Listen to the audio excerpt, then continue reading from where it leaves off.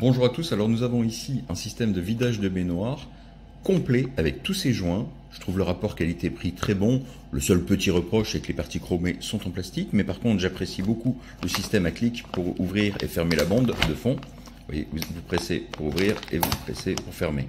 Donc vraiment très simple. Le débit annoncé est de 48 litres par minute, c'est le maximum bien sûr pour l'évacuation de l'eau.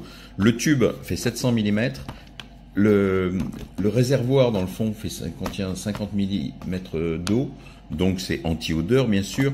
Ce qui est bien, c'est que le siphon est orientable, donc ça vous permet vraiment de, le rendre adaptable sur toutes les installations. Il est vraiment très simple à installer. Moi, pour le moment, écoutez, c'est le genre de système que j'installe et que j'aime bien.